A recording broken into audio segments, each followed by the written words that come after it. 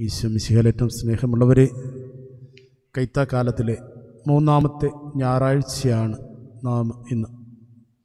നമ്മളിപ്പോൾ വായിച്ചു കേട്ട സുവിശേഷം വളരെ സുപരിചിതമാണ്. ഈശോ അന്ധനായ യാചകനെ സുഖപ്പെടുത്തുന്ന ഒരു ഭാഗം. അവിടെ നമ്മൾ കാണുന്നത് ഈശോ ആ അന്ധയാചകന്റെ കണ്ണുകളിൽ തുപ്പലുകൊണ്ട് ചെളിയുണ്ടാക്കി അതവന്റെ കണ്ണുകളിൽ പുരട്ടിയിട്ട് അവനോട് പോയി കഴുകുവാനോട് പറയുകയാണ്. അവൻ അന്ധനായി ജനിച്ചത് ആരുടെ പാപം നിമിത്തമാണെന്നാണ് ജനക്കൂട്ടത്തിന്റെ അല്ലെങ്കിൽ ശിഷ്യന്മാരുടെ ഈശോയോടുള്ള ചോദ്യം. കാരണം പഴയ നിയമത്തിലെ ചിന്തപ്രകാരം പിതാക്കന്മാർ തെറ്റു ചെയ്താൽ ഏഴ് തലമുറകളോളം അവരെ ശിക്ഷ അതിന്റെ ശിക്ഷ അനുഭവിക്കേണ്ടി വരും.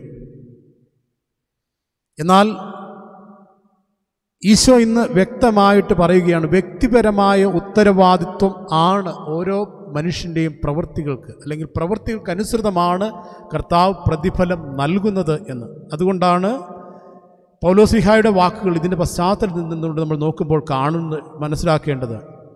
പൗലോസിഹ അവരോട് പറയുന്നത് നിങ്ങളെ ദുഃഖിപ്പിച്ചതുകൊണ്ടല്ല മറിച്ച് നിങ്ങളുടെ ദുഃഖം മാനസാന്തരത്തിലേക്ക് നയിച്ചതുകൊണ്ട് നിങ്ങളുടെ ദുഃഖം ദൈവഹൃതപ്രദമായ ഹിതപ്രകാരമായിരുന്നതുകൊണ്ട് ഞങ്ങൾ വഴി നിങ്ങൾക്ക് ഒരു നഷ്ടവും സഹിച്ചിട്ടില്ല. ദൈവഹൃതപ്രകാരമുള്ള ദുഃഖം രക്ഷാകരമായ മാനസാന്തരം ജനി ജനിപ്പിക്കുന്നു. അപ്പോൾ നമ്മുടെ ജീവിതത്തിൽ ദുഃഖങ്ങൾ ദുരിതങ്ങൾ സങ്കടങ്ങൾ ക്ലേശങ്ങൾ അത് സംഭവിക്കുമ്പോൾ പ്രിയമുള്ളവരെ അവിടെയാണ് നമ്മൾ മനസ്സിലാക്കേണ്ടത്. അവിടെ ഒരു ദൈവഹിതമുണ്ട് വിശ്വസിക്കുവാൻ സന്നദ്ധനായവർക്ക്. അല്ലെങ്കിൽ ദൈവഹിതത്തോട് സഹകരിക്കുവാനായിട്ട് തയ്യാറുള്ളവർക്ക് അത് രക്ഷാകരമായി മാറും. ഈശോ വ്യക്തമായി പറയുകയാണ് അവനോട് നീ പോയി കഴുകുക. അവൻ നൽകുന്ന ഉത്തരം നിനക്ക് എങ്ങനെയാണ് കാഴ്ച ലഭിക്കുന്നതെന്ന് ചോദിക്കുമ്പോൾ അവൻ പറയുന്ന ഉത്തരം ഇതാണ്. ഈശോ എന്ന് പേരുള്ള മനുഷ്യൻ ചളിയുണ്ടാക്കി എന്റെ കണ്ണുകളിൽ പുരട്ടി സിലോഹായിൽ പോയി കഴുകുക എന്ന് പറഞ്ഞു ഞാൻ പോയി കഴുകി എനിക്ക് കാഴ്ച ലഭിച്ചു. ജന്മന അന്ധനാണവന്. അവന്റെ കണ്ണുകളിലേക്കാണ് ഈശോ. കൂടുതൽ ഒരു തരത്തിൽ പറഞ്ഞെന്നാൽ ദുരിതമാണ് നൽകുക. ചെളി അതും തുപ്പലുകൊണ്ട് ചെളിയുണ്ടാക്കി. അവന്റെ കണ്ണുകളിലേക്ക് പുരട്ടുന്നത്. എന്നാൽ അവൻ പോയി കഴുകുവാനായിട്ട് സന്നദ്ധനായി കഴിയുമ്പോൾ അവന്റെ അന്ധത മാറി. അവന് പ്രകാശം ലഭിക്കുകയാണ്. യോഹനന്റെ സുവിശേഷം എട്ടാം അധ്യായം പന്ത്രണ്ടാമത്തെ വാക്യത്തിൽ നമ്മൾ കേൾക്കുന്ന ഈശോ തന്നെ പറയുന്നു ഞാൻ ലോകത്തിന്റെ പ്രകാശമാണ്. ഇന്നതാണ് ഈശോ വീണ്ടും ആവർത്തിക്കുക. ഞാൻ ലോകത്തിലായിരിക്കുമ്പോൾ ലോകത്തിന്റെ പ്രകാശമാണ് എന്ന് വീണ്ടും ആവർത്തിക്കുകയാണ് യോഹനാന്റെ സുവിശേഷത്തിന്റെ എട്ടാം അധ്യായം പന്ത്രണ്ടാമത്തെ വാക്യം. പ്രിയമുള്ളവരെ നമ്മൾ പഴയ നിയമത്തിലേക്ക് കടന്നു പോകുമ്പോൾ രാജാക്കന്മാരുടെ രണ്ടാം പുസ്തകം അഞ്ചാം അധ്യായത്തിൽ കാണുന്ന ഒരു സംഭവമുണ്ട്. നാമാൻ എന്ന് പറയുന്ന ഒരു കുഷ്ഠരോഗി എലീഷ പ്രവാചകന്റെ അടുത്തെത്തി അവനോട് സൗഖ്യം യാചിക്കുമ്പോൾ നാം അവൻ അവനോട് പറയുന്നത് പോയി നദിയിൽ മുങ്ങുവാനായിട്ട് ഏഴ് പ്രാവശ്യം. അവൻ ക്രൂദ്ധനായിട്ട് തിരിച്ചു പോവുകയാണ്. കാരണം അവൻ പ്രതീക്ഷിച്ചിരുന്നത് എലീശ പ്രവാചകൻ വന്ന് അവന്റെ മേൽ കൈകൾ തൊട്ട് അവനെ അല്ലെങ്കിൽ എന്തെങ്കിലുമൊക്കെ മന്ത്രം ജപിച്ച് അവനെ സുഖപ്പെടുത്തുമെന്നാണ്.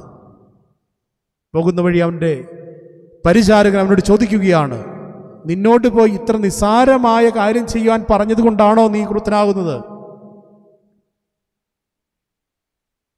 അവൻ മാനസാന്തരപ്പെട്ട അല്ലെങ്കിൽ അവൻ അനുതാപം തോന്നി അവൻ പോയി കുള കുളത്തിൽ മുങ്ങി അവൻ സുഖം പ്രാപിച്ചതായിട്ട് നമ്മൾ രാജാക്കന്മാരുടെ രണ്ടാം പുസ്തകം അഞ്ചാം അധ്യായത്തിൽ വായിക്കുന്നുണ്ട്. പ്രിയമുള്ളവരെ ഇവിടെ നമ്മൾ കാണുന്നത് എന്താണ്? ജന്മന അന്ധനായവന്റെ മനു കണ്ണുകളിലേക്ക് ഈശോ കുറച്ചുകൂടി ദുരിതം നൽകുന്നതായിട്ട് ഒരുപക്ഷെ നമുക്ക് തോന്നിയേക്കാം. എന്നാൽ അതല്ല.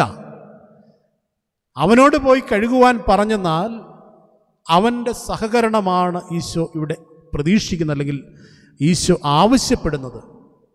നമ്മെ കൂടാതെ നമ്മെ സൃഷ്ടിച്ച ദൈവം നമ്മുടെ സഹകരണത്തോടുകൂടി നമ്മെ രക്ഷിക്കുവാനായിട്ടാണ് ഇന്ന് ഇവിടെ ഈ വചനം വഴി നമ്മുടെ ആവശ്യപ്പെടുന്നത്.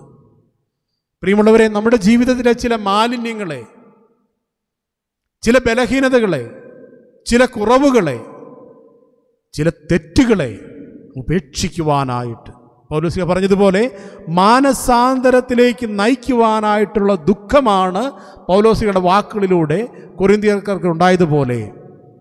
ഈശോ ഇന്ന് അവനോട് ആവശ്യപ്പെടുന്ന അവന്റെ കണ്ണുകളിൽ പുരട്ടിയ ചെളി പോയി ആ കുളത്തിൽ കഴുകുവാൻ പറയുമ്പോൾ നമ്മുടെ ജീവിതത്തിലെ ചില താഴ്മകൾ ചില എളിമപ്പെടലുകൾ ചില വിട്ടുവീഴ്ചകൾ ഉപേക്ഷിക്കേണ്ടതൊക്കെ ചിലതൊക്കെ നാം തന്നെ ഉപേക്ഷിക്കുവാനായിട്ടുള്ള ഒരു തയ്യാറെടുപ്പ് കർത്താവ് നമ്മോട് ആവശ്യപ്പെടുകയാണ്. ഒരു സന്നദ്ധത ദൈവം നമ്മോട് ആവശ്യപ്പെടുകയാണ്.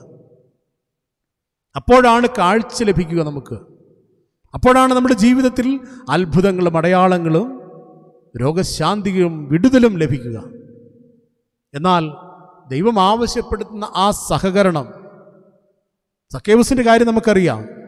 അവൻ കയറിയിരുന്ന സിക്ക് സിക്കമോർ മരത്തിൽ നിന്ന് താഴെ ഇറങ്ങുവാൻ കർത്താവ് ആവശ്യപ്പെടുമ്പോൾ അവൻ താഴെ ഇറങ്ങി കഴിയുമ്പോഴാണ് കർത്താവ് അവന്റെ ഭവനത്തിൽ പ്രവേശിക്കുന്നതും അവന്റെ ഭവനത്തിൽ രക്ഷര ഉണ്ടാകുന്നതും. ഇന്ന് കുടുംബനാഥന്മാരാവാം കുടുംബനാഥകളാവാം. ഒരു വ്യക്തിയുടെ സഹകരണം ഒരു കുടുംബത്തെ മുഴുവനും രക്ഷയിലേക്ക് സൗഖ്യത്തിലേക്ക് വിമോചനത്തിലേക്ക് വിടുതലിലേക്ക് നയിക്കുവാനായിട്ട് കാരണമാകുന്നു. പ്രിയമുള്ളവരെ നമുക്ക് പ്രാർത്ഥിക്കാം. ഏത് മേഖലയിലാണ് ഞാൻ കഴുകി വിശുദ്ധീകരിക്കേണ്ടത്?